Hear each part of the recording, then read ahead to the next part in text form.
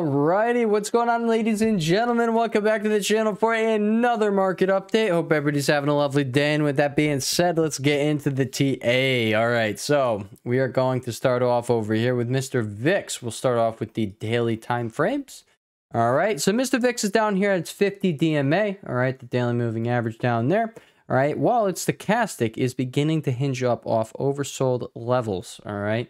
Um, I'm just saying VIX could start to heat up. We do have the four hour CCI all the way down here as well. And you do have the one hour with a, I believe it's a bullish divergence. And we do have a bullish divergence on the hourly time frame, which to me uh, suggests we are about to start seeing VIX turn up. And you also have one over here on the RSI, if I'm looking at that correctly. All right, guys. So I typically see VIX rise or fall until I start seeing these divergences pop up on the 15 and the hourly time frame guess what, guys? You come over here to the 15 minute time frame.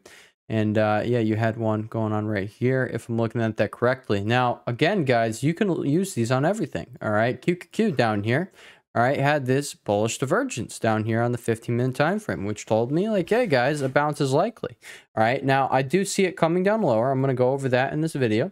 All right, we're going to start off here with the daily time frame. Then we're going to go over the, the lower time frames, the four hour and the one hour and uh, we can go over the uh, you know the trend that's taking place right now. All right, uh, but starting here with the daily time frame, we already went over Mr. VIX, but uh, the CCI here in QQ is starting to turn down off of oversold levels. All right, so you're getting your sell signal over here as of I think as of yesterday. Uh, no, as of today, you're getting your sell signal on the daily CCI here. Um, I just want to point out this declining volume here, right? So you're in here. But typically, guys, when we get these uh, clustered zones here, I guess we'd call it the uh, the consolidation. All right, I told you guys over here on Spy that we pretty much have the exact same thing that we had going on over here. All right, which was going on over here. We're in this cluttered zone over here, all right? We had this, boom, we're going back and forth, all right? So when you're in these consolidation zones, this is typically where you see these big moves come out of. Well, guess what, guys? We had a rather decent move to the upside there, all right? Um, but now I think it makes sense to be looking for some downside, all right? Um, so let's finish on, uh, finish off with these daily time frames over here, all right? So IWM, I told you guys, like, hey, all right, RSI came all the way up to 40. The last time it came up to 40 was right here, and then boom, you fell into the $10. All right, so if we're gonna mimic that, we can now fall to I think it was 164. Um, yeah, just about 164, 165, which would be bringing you down here to um, this bad boy right here. So we could just put that on a chart there. All right, and there we go. All right, so this is the zone here that I think IWM is likely to come down to. And look at that, guys. We could pull it over. Um, literally, this is where you got the buying pressure over here as well. All right, guys, if you come down here in IWM, I'm going to say there's a solid chance we get a, a bounce across the indices. All right. Uh, so just like we were, you know, looking for a bounce over here when we started getting that bullish divergence, well, guess what? We got a bounce there. All right. Well, guess what? All right. Uh, you came down and you uh, ended up coming down over here after that bounce, and boom, we were looking for another bounce because things don't make sense when your RSI is sitting all the way down here. Well, guess what, guys? Now the RSI has some room to move down. Um, so I'm saying, yeah, all right, it's on the table that we could now see things start to decline. I've actually hinted at in the past videos that is what I think is likely. I've, I showed you guys. Let me just, you know, in case nobody was uh, here for the um, what is it, Monday or Tuesday right now? I think it's Tuesday, right? Yeah, in case nobody was here for the Monday video yesterday, um, even though I know uh, most of the people watching this video probably were watching that video. That's kind of how this channel is, right? Oh, look at what's going on over there on Mr. Oxy. Okay, look at that, guys. Look at that. All right. Um, Look at our boy Oxy go. Look at that. All right. Um, your boy actually took the L on this one, but you know what? He didn't have to take the L. All right. So this is the only trade that I took an L on out of all of the trade ideas. And uh, guess what, guys? Look at that. All right. Look at that. It literally came right back up and boom. Now you're probably up 30%. I know I entered on this candlestick over here. Look at this, guys. This is why you stick to your plan. You do not go you don't stray off from the plan. You just don't, all right? If your risk was 50% and you took that trade, you accepted the risk, all right? Then you wouldn't have done what I did and got out like literally, um, yeah, when it wasn't down 50%, all right? There you go, guys. Stick to your own trade plans. That is the reason trade plans exist, all right? Um, but yeah, speaking of, um, not speaking of trade plans, just coming back over to the daily time frame. I don't know what I'm talking about. All right. Um, over here on the uh, four hour. We're going to dip on down to the lower time frames now.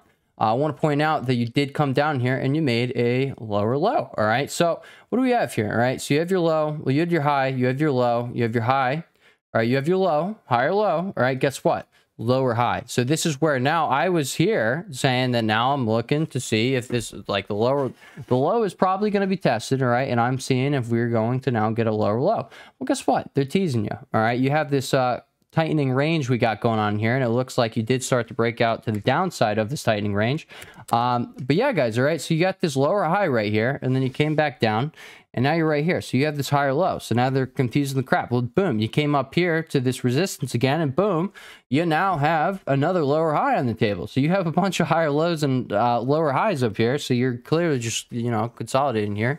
Uh, and it's exactly what i was just saying all right? When you tend to consolidate here and you're not really going anywhere for like just say one to two weeks all right? This is typically where your big moves are going to come out of. I think you're going to have a decent sized move to the downside here. Um you haven't back tested anything. Like you literally have not which just is not like i'm not going to say you know like that's not strong all right you like you don't want that to happen that's like like if i was looking to go long i would definitely not be going long until something got tested all right. Now, like, I'm not saying I'm going to be doing so, but like you broke out from the structure right here. You tested it for a day. All right. Well, two days right there. And then you were off to the races. Well, now you stalled out up here at resistance. So, I mean, you're probably going to come back down here and uh, test where you tested before. All right. So I'm looking for this to test, or we're going to take a dive all the way down here and we're going to back test that trend line finally. Um, I'm open to both. I'm going to point out here that I do think you're going to be getting a bounce, though, at the zone. All right. So at 301 to 304, this is where I think you are going to be getting that bounce. Um, you could end up getting a bounce sooner than that. I'm not saying you can't. All right. Um, but yeah, all right. If you have your hourly and four hour oscillators over here in uh, oversold territory as you're coming into this, all right, we're, we're going to have to see if you get the bullish divergence as you come down into that. But if you do, then yeah, I'm going to say it's extremely likely that you bounce coming out of that zone. All right, now coming over here to SPY, all right, because we just focus on QQ. Now, SPY is something that just looks weak. All right, now this is something that is back testing all these structures, all right, but it never actually got that initial breakout of that structure like QQ did which is why like I was I'm I'm sketch guys, right? I don't think this breakout is going to come here because then we'd have a target all the way up here, all right? And like, yeah, all right, guys, I'm open to coming back up here, but I'm just saying with what I'm looking at, that would kind of throw a monkey wrench into the whole thing. I just don't think it's going to break out. All right, we have continued uh, we have seen uh, sellers continuously step up here at this trend line. All right. I don't think it is about to be uh, broken. But again, just like we went over on QQ, you have your lower low. All right. Yes, you have your higher or you have your higher low, but you have a lower high up here.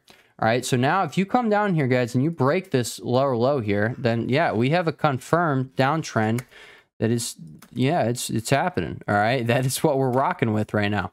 All right. Let's go over to the daily time frame though on SPY and QQ and see where we could be bouncing, guys. We could be bouncing at the 200 DMA. Right here is at this white line. So let's just look at a specific thing. So it's at 392 23 at the current point in time. SPX's 200 MA is at 393150. All right, so 393150. Um, we still have a decent ways to go. I think it's just about a percent. Um, over there, that is where I expect buyers are likely going to step in. All right, you come over here to the four hour time frame on SPY. Now, SPX, you're actually all the way up here. So this is ultimately like SPX was really showing me, hey, you have a lot of room to come down here, right? So even though tech sector is the thing that like, you know, is showing the uh, that like, yeah, you're fizzling out. Uh, SPY up here, it's just looking weak. all right, this does not look good in my opinion. You have room to come down. Um, but yeah, and I say weak because yeah, you're continuously getting rejection here. You're making these lower highs or across the indices. You're doing this. IWM over here is literally the strongest one. But guess what, guys? The thing that like was the thing that was saying like, hey guys, this is why like we're likely going to be bouncing. All right, this doesn't add up. Well, guess what? All right, now the four hour stochastic is crossing down from overbought territory. So uh, I really do think things are going to take a dive here. I think QQ is probably going to end up getting a bounce somewhere in this zone. All right, we're probably going to step back up there. All right, maybe over on the hourly time frame, we uh, you know, see uh, hourly cycle on the CCI go by. Uh, we end up bouncing over there, and then we come down and maybe we back test this uh, trend line over there. All right, so that's really what I'm looking at. That's what I think is going to be going down. And I say this because SPY has already broken out. Like you've made your lower high. You had let's let's just look at this. All right, so you have your high, You have your higher low here, all right, lower high right off the bat. And then you got this lower low, all right, and then boom, you come back up. Guys, you still have a lower high. All right. So you like, you know, you had like a lot of room here. Look, look what your four hour oscillators did. All right. You had room to run and you did not use that room to run to break out. All right. So instead, like you're getting, you're faced with rejection. This is why I say SPY looks weak to me. All right. It really just, it looks like it's getting rejected. This is what rejection looks like. All right. And now that we have broken down past this low over here. All right. So you had your high, you have your low here. Well, guess what, guys? You have your lower high, this wick right here and this wick. All right, so now we're coming down.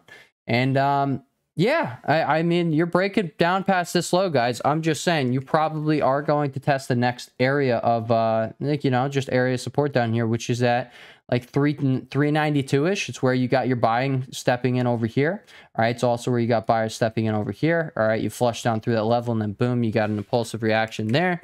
All right, so this level is going to be important, but also we take a step back and uh, it is also right at the 200 MA. So I think you're gonna go down there. Probably you're probably gonna hold that 200 MA, but like guys, if you do end up flushing down underneath the 200 MA, all right, uh, you know, like you, you could be looking at uh, significantly lower levels, and by that I mean over here. All right, this is the four dollars down. All right, the 386 to 388. All right, that's where I then expect like, hey, that's where buyers would likely then attempt to step in again. All right. Um, but yeah, guys, we do have a lot of puts. I'm not going to open up Webull right now. We do have, uh, like, you know, uh, the on the option chain for the quarterly OPEX over on SPY. Uh, it is heavier on the put side than the call side. So if dealers are going to win this one, then yeah, I mean, they might get everyone short by bringing you down to the 200 MA, but they might just bounce you back up into the end of the week. Um, so yeah, they don't have to pay out a ton of people. That's just, if I was a dealer, that is what I would be doing. Um, but yeah, plenty of volatility to be played.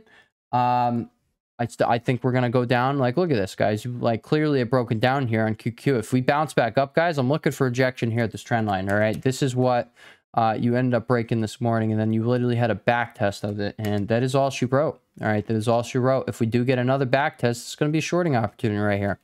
All right. Um, so yeah, I guess that is pretty much it. I'm going to show you guys what I showed you guys yesterday. All right. And look at that. Apple's starting to turn down. All right. But over here on the RSI, all right. And this is why I want to be, I want to be short on tech, guys. I, I don't want, um, I, I don't I don't think anybody should really be longing tech with it looking like this is something that hasn't popped up the whole bear market all right why is that yeah, because you know we have different factors at play right now different pressures there. Okay, you made this higher high just like on Apple over here on QQ. Well, guess what? RSI has a fat bearish divergence on it.